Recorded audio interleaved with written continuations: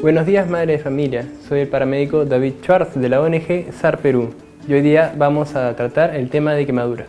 En el caso de las quemaduras por la exposición solar, lo importante es refrescar la piel, ya que ésta ha perdido su capa grasa que la protegía. Por lo tanto, tenemos que mantener fresca a la persona con baños de agua tibia y mantenerla hidratada, siempre dándole abundantes líquidos.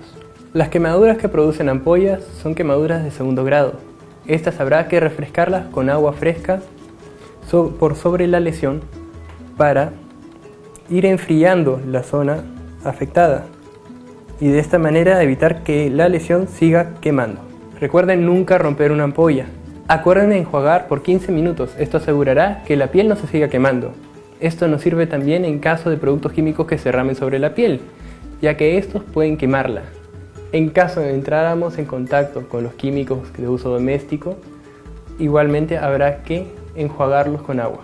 En caso de quemaduras en cara, cuello o manos, o estas fueran de segundo grado, vayan al centro de salud más cercano para recibir atención médica.